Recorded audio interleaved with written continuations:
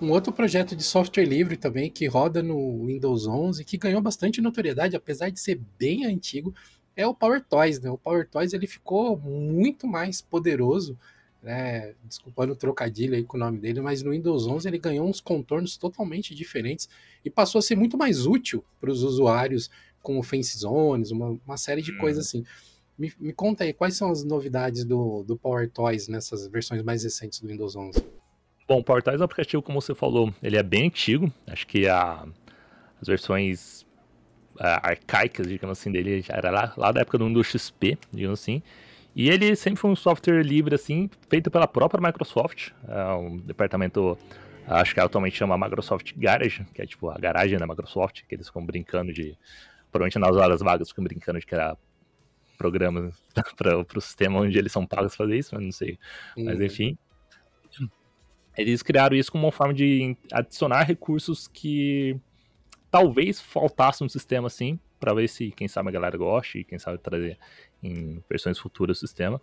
Uh, um dos diferenciais, eu não acompanho muito, eu não conhecia esse aplicativo na época que eu usava o XP, mas dando uma pesquisada depois, eu lembro que ele, uma das diferenciais dele era adicionar múltiplas áreas de trabalho ao um do XP na época, que era algo bem legal. Tinha outros recursos também, mas o que é, é um exemplo de coisas que tinha no, no PowerToys que virou nativo hoje em dia. O Windows 10 trouxe recurso formativa. E atualmente ele tem vários recursinhos, em vários features que adicionam recursos bem interessantes no, no Windows, tanto Windows 10 quanto Windows 11. O Windows 11 ele funciona em ambos sistemas operacionais. Uh, Windows, a única diferença para o Windows 11 é que ele realmente tem uma, uma interface de Windows 11 mesmo, fica mais coesa com a questão do sistema, mas o, todos os recursos funcionam em, em ambos sistemas operacionais.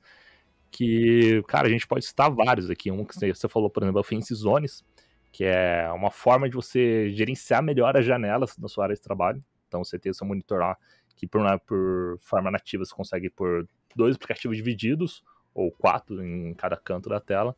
No FaceZone você consegue expandir isso de forma literalmente infinita. Você pode criar, que se você por acaso tiver espaço na tela e precisar colocar 10 aplicativos na sua tela de forma bem organizadinha e dividir igualmente, ou dar prioridade para um, você consegue criar layouts ali na, no, no aplicativo e a partir do momento que você arrasta a sua janela utilizando o atalho de teclado ali, você consegue literalmente colocar as, as janelas na sua tela ali de uma forma que você quiser. Então, tipo, é um negócio que, para otimizar questão de workflow na tela, isso é fantástico. Galera que usa telas 4K, assim.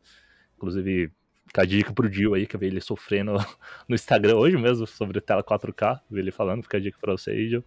É, você consegue organizar melhor, otimizar muito a, a sua interface de trabalho aí. Tem aplicativos como, por exemplo, para quem é designer, tem um seletor de cores.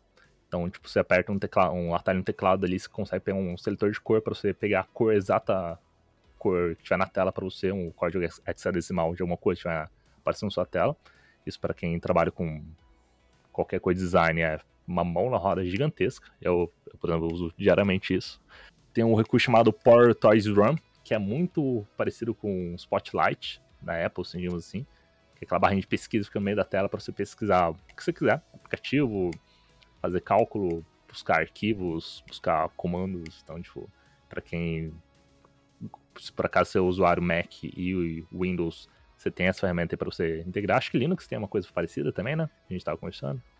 Sim, sim. Na verdade, eu, você está falando desses recursos aí e tá vindo o nome dos programas que são equivalentes no Linux na minha cabeça, né? Por exemplo, o Fancy Zones, em ambientes Linux, normalmente a gente chama de Tile Window Manager. Então, tem diversos Tile Window Managers e também tem extensões para GNOME e para KDE que você consegue criar esses layouts mais avançados. Né? No Linux, geralmente você consegue fazer essas divisões também, né? de dividir no meio ou dividir em quatro áreas iguais.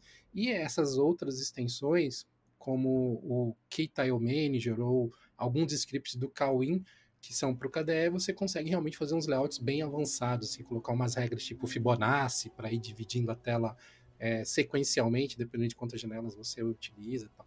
Bem bacana. E é, cara, que fantástico que tem um recurso nativo assim agora no Windows também. E um outro recurso que você citou aí, que é o, Color Picker, né? De você ficar pegando hum, cores sim. da tela. Cara, eu uso essa parada todo dia no, no Linux. É, eu uso um programa que é nativo do Gnome, que chama. seletor de cor, né? Que criativo o nome do programa, chama seletor de cor. Eu até Exatamente fiz um tutorial para é, então, eu até fiz um tutorial para ele pro, acho que foi pro blog de Linux mesmo, pro nosso canal de clips, explicando como que utiliza alguns recursos dele, que cara é tão prático pra gente que trabalha com criação, ao invés de você tirar um print e abrir um editor de imagem lá, pegar aquela cor, meu, você aperta uma tecla, vem a conta-gotinha, pega ali a cor que você precisa e segue a vida. Eu, eu, eu, tive um, tive uma epifania no dia que eu achei esse programa, porque, sei lá, reduziu algumas tarefas bestas que eu era obrigado a fazer de minutos para segundos. Sim, aí é, são coisas pequeniníssimas, mas é que a gente vê no final do dia, gasta um tempão bem considerável no nosso dia que a gente podia estar tá tentando fazer outras coisas ali. Então, cara, ferramentas assim facilita demais, demais o trabalho. Tem outras coisinhas assim, só pra exemplificar aqui no, no Power Toys. Tem uma que eu gosto muito, eu uso demais também, é o Always on Top, que é pra você fixar uma janela sempre acima das outras. Então, tipo, não importa o que você fizer, aquela janela vai ficar sempre acima. Temos também redimensionamento de imagens padrão, então você pode selecionar várias imagens, clica o botão direito e fala, ó, quero que todas as imagens fiquem em 720p. Então ali vai compactar todas as imagens ali nesse tamanho, então isso facilita coisinhas bestas assim que, mano, facilita demais, economiza um tempo bem considerável no seu dia a dia. Renomear arquivos em lote, tem, tem muita coisa legal. O Portoys é uma ferramenta bem legal também, e é código aberto também, galera que quiser pegar, ela tá lá no GitHub para pegar também mesmo sendo da Microsoft, tá lá no GitHub. E, cara, isso é uma ferramenta bem poderosa mesmo para otimizar o workflow da galera.